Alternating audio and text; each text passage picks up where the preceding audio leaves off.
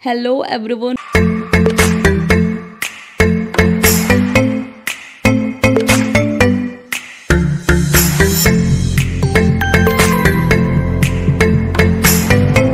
Hello everyone welcome और welcome back to my channel in Saumya's word और मैं हूँ सौम्या सो कैसे आप लोग मेरे साथ शेयर करना है? एंड आज का व्लॉग मैं बहुत लंबे टाइम के बाद में शूट करी हूँ मतलब कि ये पूरा एक मंथ ही समझ लो। हाँ ट्वेंटी डेज़ तो हो गए। मैंने लास्ट व्लॉग दीपावली का शेयर किया था और उसके बाद में मैंने कोई भी व्लॉग वगैरह शेयर नहीं किया क्योंकि मैंने कुछ शूट ही नहीं किया था। मैं तब से अभी तक यहीं घर पर हूँ। पहले मैं अपने ससुराल में थी और फिर उसके बाद मैं यहाँ घर पर और आज मैं वापस जा रही हूँ तो ये मेरी सारी पैकिंग हो चुकी है और अभी मैं नीचे आ भी गई हूँ, घर से निकल चुकी हूँ। और शाम का टाइम है, सात बजे की मेरी बस है और अभी छः बजे का टाइम है।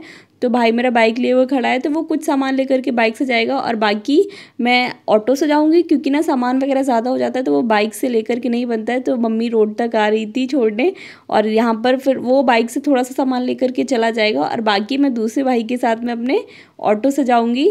तो इस टाइम पे ना मुझे अच्छा भी नहीं लग रहा था, क्योंकि ना मैं बहुत, जब आप कहीं रुक के जाओ ना तो बहुत इमोशनल हो जाते हो, जाते टाइम में तो वही हो रहा था, मन नहीं कर रहा था जाने का।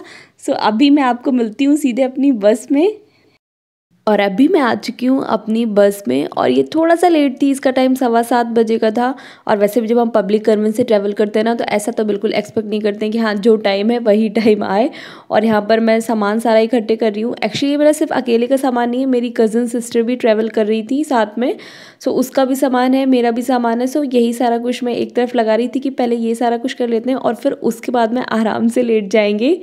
और ना इस तरीके से ऐसे बस में ट्रैवल करना, ये सारा मतलब इसका अपना अलग ही मज़ा होता है कि हाँ हम वैसे तो ट्रैवल करते रहते हैं बट इस तरीके से मुझे बहुत अच्छा लगता है। और अभी टाइम हो गया है, आप देख सकते हैं कि आठ बजे में छः मिनट बाकी हैं और इस टाइम ना मेरी बस चल चुकी थी।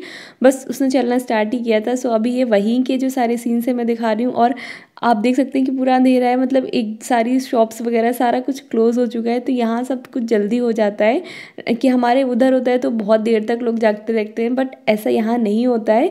आप देख सकते हैं ना कि आपको बहुत कम लोग ही देखने मिलेंगे, सारे शॉप्स वगैरह सब कुछ क्लोज़ हो चुका है। और मैं ना इस तरीके से बहुत बहुत लंबे टाइम के बाद में ट्रैवल कर रही हूँ क्योंकि ना मेरा मोस्टली अपने हस्बैंड के साथ में ही आना होता है तो फिर मैं गाड़ी से ही आती हूँ या फिर ना मैं बस से भी आती हूँ ट्रेन से भी आती हूँ तो फिर मैं कानपुर आती हूँ। लेकिन इस तरीके से एक्चुअली ना मेरा घर पुखराया में है और मैं इस बार ना भोगनीपुर से ट्रैवल कर रही थी। सो इस तरीके का जो एक्सपीरियंस है बहुत ज़्यादा लंबे टाइम के बाद है, लेकिन ना मेरे को इस तरीके की ना देसी लाइफ जीना बहुत ज़्यादा पसंद है। मुझे बहुत अच्छा लगता है कि हाँ सारे कुछ करो मतलब सब एकदम से पूरा फुल मज़ा करो।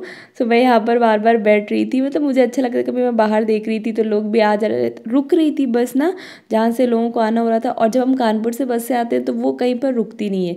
और जब इधर से आते हैं तो वो कई बार रुकते हुए जाती है। इस तरीके से होता है। और यहाँ पर बस ने ना पहला स्टॉप लिया था। सो जिसको खाना वगैरह था, अपना जो भी करना था, वो सारा कुछ कर रहे हैं। और फिर इसके बाद में चल रही थी सो इसी तरीके से पूरा ना सफ़र कट रहा था कि कभी मैं लेट लेकिन ना मेरे को आज थोड़ा सा अच्छा भी नहीं लग रहा था और ये हमेशा होता है। और मेरे साथ क्या हर किसी के साथ में होता है कि जब हम अपने घर से आते हैं ना तो हमारा बिल्कुल भी मन नहीं करता कि ना कितने दिन भी रुक के आओ और इस बार तो मैं काफ़ी दिन रुकी, लेकिन ना ऐसा हुआ कि किसी की शादी कुछ और ना मैं मोस्टली अपने से फ्रेंड की शादी के लिए रुकी हुई थी इतना लंबा टाइम सो फिर रोज़ था, कहीं इधर जाओ, कहीं उधर जाओ। तो मतलब इस बार ना मैं पूरा घूमी हूँ कि मेरे को जहाँ जहाँ जाना था, मैं सारी जगह गई हूँ। तो इस वजह से घर पे एक वो होता है ना कि हाँ एकदम प्रॉपर नहीं रुक पाई। बट ठीक है ना, हमेशा एक जैसी चीज़ें नहीं होती हैं। तो वही है, मेरे को मतलब याद आ रही थी और ये होता है। मैं अगर इतने दिन, जितने दिन रुक के आई हूँ ना, इतना और भी रुक लेती ना तो भी मुझे ऐसे अपने घर की याद आती कि हाँ यार, अभी थोड़ा सा और रुक लेते। और यहाँ पर भी बस रुकी हुई है मतलब बस बहुत ज़्यादा रुक रही थी। बस मुझे ये थोड़ी सी कम अच्छा लग रहा था कि ये वाली ना बस बहुत ज़्यादा ज़्यादा रुक रही थी। और अभी आप देख सकते हैं कि बस एक बजने ही वाला है। सो इस टाइम पर ना मुझे पूरी नींद आ रही थी तो मैंने सोचा कि अब मैं आराम से सो जाती हूँ, अभी रुकेगी तो रुकती रहेगी।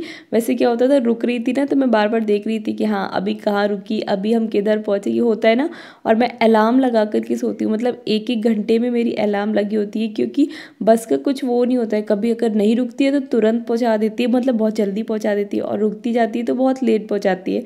और अभी सुबह हो चुकी है, मेरी नींद खुल गई मतलब बस वाले ने ना आवाज़ लगाना शुरू करी तो मेरी नींद खुल गई थी। वैसे मैं अलार्म से देख रही थी, लेकिन फिर वापस से अगर एक बार नींद आ जाती है ना तो फिर वो अच्छी खासी नींद आती रहती है तो वही हो रहा था। और बस ऐसा नहीं था, पहले मैं सोच रही थी कि जल्दी ना पहुँचा दे, क्योंकि फिर बहुत जल्दी पहुँचना भी अंधेरा रहता है। लेकिन हाँ इसने टाइम से पहुँचा था छः बजे का था, और फिर उसके बाद में मैंने कैब करी हुई थी घर तक जाने के लिए, क्योंकि डिस्टेंस काफ़ी ज़्यादा था, पंद्रह किलोमीटर का फ़र्क है। सो so, मैंने वहाँ से कैब करी हुई थी और आप देख सकते हैं कि वापस से वही बिल्डिंग्स दिखने लगी। मतलब मैं अपने एरिया पे पहुँच चुकी हूँ। सो बस अभी मैं घर जाऊँगी। और ना इस टाइम पे मेरे को ना पूरी नींद भरी हुई थी। अभी भी मेरी नींद वगैरह भरी थी तो जो मेरी सिस्टर लोग आए थे ना, वो थोड़ी देर रुक करके फिर वो चले गए थे, क्योंकि उनको गाज़ियाबाद जाना था। और ये मेरे घर की हालत, देखो, मैंने ना इस तरीके से पूरा सारा सामान फैला लिया वैसे घर मेरा क्लीन था, क्योंकि घर पर रोज़ साफ़ सफ़ाई हो रही थी और यहाँ पर मेरी हाउस हेल्पर भी इस टाइम तक आ गई थी। तो ना जब घर पे साफ़ सफ़ाई होती रहती है तो वैसी वाली गंदगी नहीं होती कि हाँ बहुत सारी धूल हो, ऐसा कुछ नहीं था। सब कुछ ठीक था, लेकिन ना मेरा अभी आलस नहीं ख़त्म हो रहा है। वो होता है, अब ना जब मैं रात को प्रॉपर अच्छे से नींद लूँगी और फिर उसके बाद में ही मेरा आलस जाएगा तो और अभी ना रूटीन में आने में भी थोड़ा सा टाइम लगता है, क्योंकि इतने दिन से ना मैंने कुछ काम नहीं करा, कुछ भी नहीं करा तो जब मैं उसको ना प्रॉपर ट्रैक पे आने पे थोड़ा बहुत टाइम लगेगा और घर ना आते ही, जब हम कहीं से आते हैं ना तो बहुत ज़्यादा बिखर जाता है। तो इसी तरीके से मेरा घर भी बहुत ज़्यादा बिखरा पड़ा हुआ है और बस मैंने जिस नहाया हुआ है। खाना वगैरह भी मेरा आज सारा कुछ यही बनाने वाली है और इतने दिन से भी यही बना रही थी। सो बस अभी मैं नहा के तो अपनी बालकनी में आई थी देखने क्योंकि बहुत दिन के बाद मैं ना आई तो मुझे अच्छा अच्छा लग रहा था। और ये इनकी कंडीशंस थोड़ी सी ख़राब हो गई। एक्चुअली अब ना ये सर्दियों में ऐसे ही रहेगी क्योंकि ना मेरे घर पे धूप नहीं आती है। ये बस थोड़ी सी प्रॉब्लम है और फिर उसके बाद में, मैं अपना बिग बॉस देख रही थी। हाँ वहाँ पर भी मैं रोज़ देखती थी, लेकिन ना इस तरीके से अपने सोफ़े पर बैठ के देखना मैंने थोड़ा सा मिस करा। तो सबसे पहले आ करके ना मैं वही कर रही हूँ और फिर उसके बाद में बाकी का काम मतलब बाकी का क्या, आज मुझे कुछ भी काम नहीं करना। मैं सिर्फ़ आराम करूँगी। सो इस वाले ब्लॉग वीडियो को मैं यहीं पर एंड करती हूँ। और इसमें मैंने ऐसा कुछ भी बहुत ज़्यादा आपके साथ में शेयर नहीं किया, उसके लिए sorry and thank you so much for watching मिलते हैं एक नेक्स्ट वीडियो में. तब तक हेल्दी रहिए, खुश रहिए.